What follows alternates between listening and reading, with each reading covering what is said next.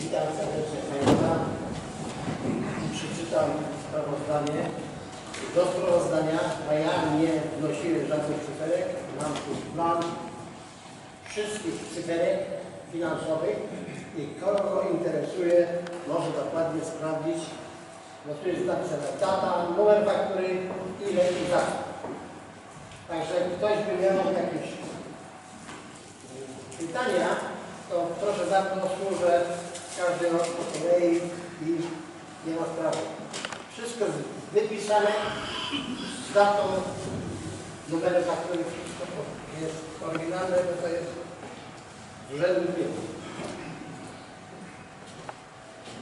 Sprawozdanie z kadencji Sołectwa rok 2012-2014. Każde sołectwo otrzymuje środki finansowe środków publicznych. Jest to 16 zł na każdą osobę zameldowaną w danym sołectwie. W związku z tym, że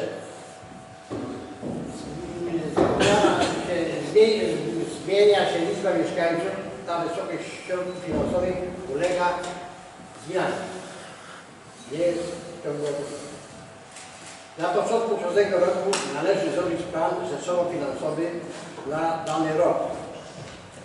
Za najważniejszy punkt w tym planie finansowym przyjmuje się utrzymanie sali wiejskiej. Jest to opłaty za prąd, gaz, wodę, kanalizację sanitarną. Pozostałą część środków finansowych można przeznaczyć na inne potrzeby wsi. Zgodnie z zarządzeniem burmistrza numer 120 łamane przez 2013. I tu jest taka trochę, bym powiedział, proszę zwrócić na to uwagę na te zdanie. W paragrafie 10 jest napisane przyznane sołectwu środki finansowe na dany rok budżetowy niewykorzystane w tym roku budżetowym nie przechodzą na następny rok. Także jeśli nie wykorzystamy ich 100 zł, przepadać. Dlatego staramy się wykorzystać wszystkie środki w danym roku. Nasza wieś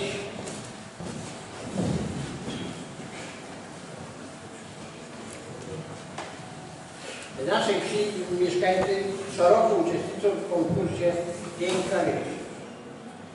Corocznie drogi gruntowe są równane, natomiast drogi gruntowe na terenie wioski, które są zamieszkane, zawsze to nawet dwa razy do roku. Wiosna jeździ. W roku 2011 przeprowadzono kapitalny remont naszej sali oraz przebudowę byłej remizy na salę klubową. Zgodnie z wcześniejszym projektem rozbudowy sali i dobudowania remizy OSP. Numer pozwolenia na budowę UAN myślnik 7351 łamane przez 770 łamane przez 93 z 12 września 1993 roku. W kwietniu 2011 roku, to znaczy, że ta budowa bardzo długo szła. W kwietniu 2011 roku został całkowicie zakończony remont naszej sali, a w styczniu roku 2012 Powiatowy Inspektor Nadzoru Budowlanego wydał zaświadczenie o zakończeniu budowy. Jak kogoś interesuje, to jest zaświadczenie na naszej budowie, naszej sali. Kogoś interesuje, może przejrzeć.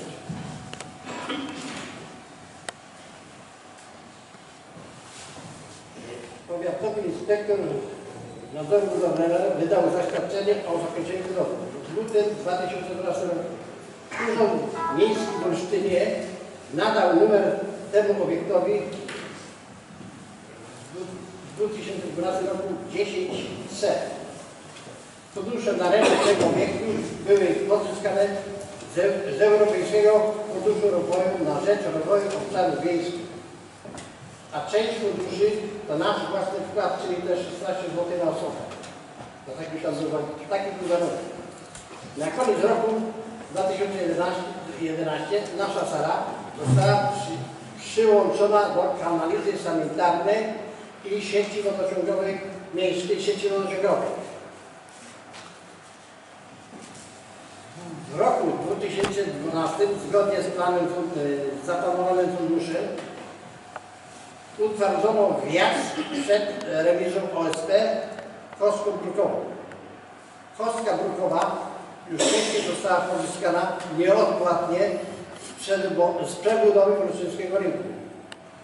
Koszt robocizny niezbędnych materiałów takich jak krawężniki, podsypka betonowa i inne to 7473 zł i 10 groszy.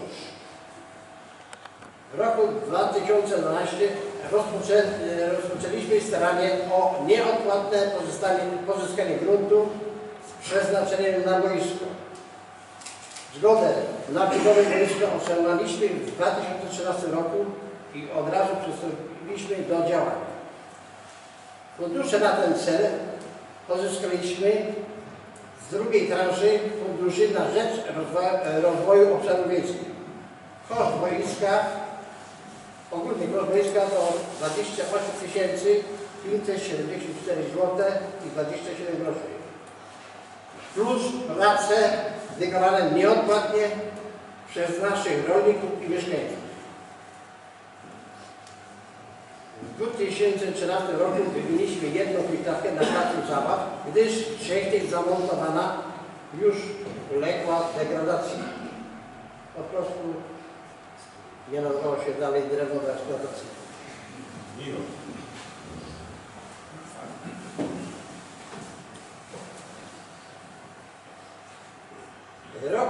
2014. Dalsze prace na rzecz boiska ze względu bezpieczeństwa dla naszych pociech został przebudowany rów na rurociągu. Rów ten łączył plac zabaw z boiskiem. Było to około 30 metrów. Zakupiliśmy siatki na bramki do piłki nożnej na placu zabaw i wymieniliśmy następną huśtawkę dwuosobową wraz i piasek w piaskownicy. W dniu 31 maja z okazji Dnia Dziecka oddane zostało boisko, zostało otwarte i rozegrane zostały tam pierwsze mecze. Dwa. Juniorzy i seniorzy. Nawet w tym grał jeden ksiądz. W związku z otrzymaniem dodatkowych funduszy, to znaczy 7 tysięcy złotych, zakupiliśmy kosiarkę samojezdną, która kosztowała 8500 zł w celu utrzymania morawy na boisku i placu przyległym do sadu. W listopadzie po przeliczeniu naszych wydatków zostało około 6 tysięcy zł. Rada Sołecka po burzliwej dyskusji postanowiła zakupić klimatyzator na salę miejską po uzgodnieniu z, kier z kierownikiem referatu rozwoju lokalnego w Urzędzie Miejskim i przedstawicielem wykonawcy i przedstawicielem wykonawcy. Zrealizowaliśmy to zadanie.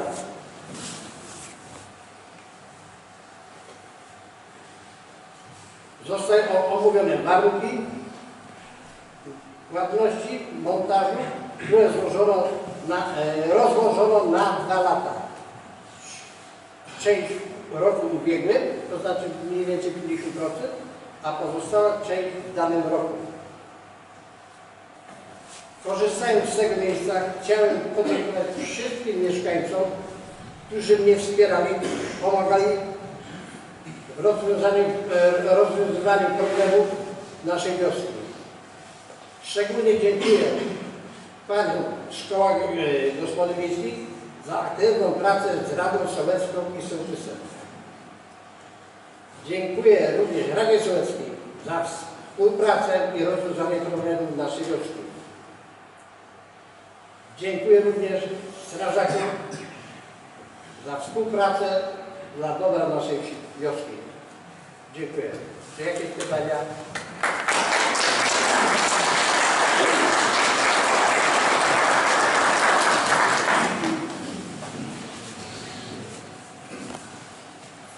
Dziękuję bardzo panu sołtysowi. Czy macie państwo pytania do sprawozdania przedstawionego przez Pana Sołtysa? Nie widzę. Dziękuję. Proszę Państwa, 15 minut y, minęło. Zwołuję w takim razie zebranie w drugim terminie. Mamy na sali 82 osoby i podczas tego zebrania będziemy wybierać sołtysa, jak również skład Rady Sołeckiej. Aby sprawnie te wybory przeprowadzić, będzie nam potrzebna komisja wyborcza, komisja skrutacyjna składająca się z trzech osób. Te trzy osoby, proszę o przemyślenie, zastanowienie się, to te osoby, które nie będą chciały w dalszej części y, zebrania kandydować na sołtysa ani do składu Rady Sołeckiej i nie powinny być spokrewnione z sołtysem. Proszę o składanie kandydatów. Trzy osoby, które będą liczyć głosy, pracownicy Urzędu Miejskiego pomogą. Mamy sprzęt, komputer, drukarka, także pójdzie to nam na pewno szybko, sprawnie, wydrukowanie kart do głosowania. Natomiast Państwo będziecie musieli te głosy policzyć jako mieszkańcy tejże miejscowości. Proszę bardzo, czekam na trzy kandydatury. Kto jest chętny? Będziemy pomagać.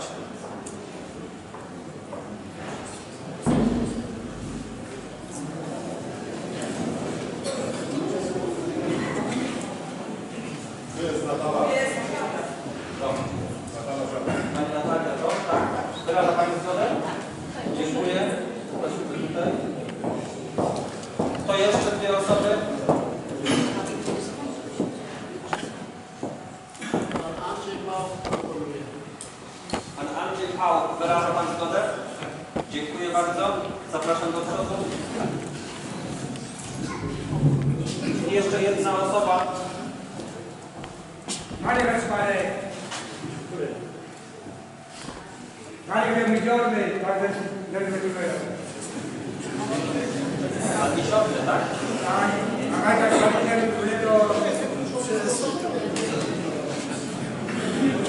Misiowny, wyraża Pan zgodę? Nie. Tomek Pieczorek. Pani tyle głosów. Proszę? A? Bardzo uwaga, tak jest. Pani tutaj... To naprawdę chodzi tylko tutaj o Policzenia, no to wspólną policzenie głosów. My pomożemy.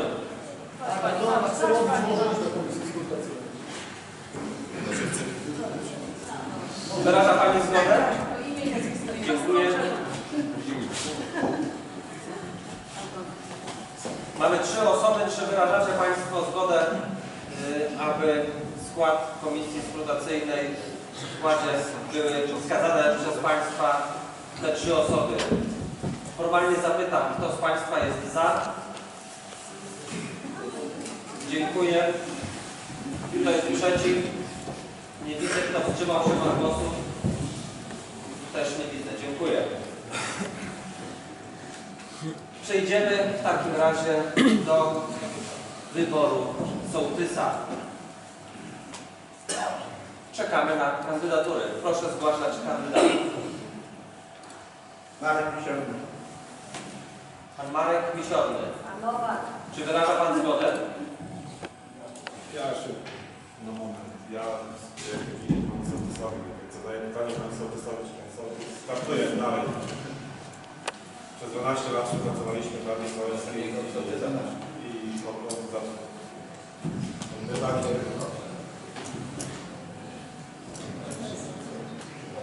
Czy wyraża Pan? Nie podajesz tak? Ja po prostu jestem winien tobie nowy, przez które lata się współpracowali i W związku z tym, że tak oficjalnie to powiedziałeś, to no bo trzeba po prostu przyjmuję. Dziękuję. Mamy pierwszą kandydaturę. Czy ktoś jeszcze chce zgłosić innego kandydata? Pan, pan Tomasz? Ja pytam, czy wyraża pan zgodę? Dziękuję. Czy są inne kandydatury? Grzegorz Maszewski. Tego nie Grzegorz, tego nie Zuzwi. Nie, nie, nie, nie. Dziękuję. Czy są inne kandydatury? Chcecie Państwo zgłosić jeszcze jakiegoś kandydata na sołtysa? Jeśli nie, w takim razie zamykam listę. Mamy jednego kandydata zgłoszonego przez Państwa. Komisja skrutacyjna, ta trzyosobowa, rozda za chwilę Państwu karty. Zgodnie ze statutem sołectwa wybory są tajne. Prawo wybierania ma każdy mieszkaniec sołectwa, który w dniu głosowania ukończył 18 lat i posiada stałe zamieszkanie w sołectwie. Mamy jednego kandydata, dlatego że macie Państwo karty do głosowania z imieniem i nazwiskiem kandydata oraz z polami tak lub nie. Będziecie Państwo musieli dokonać wyboru.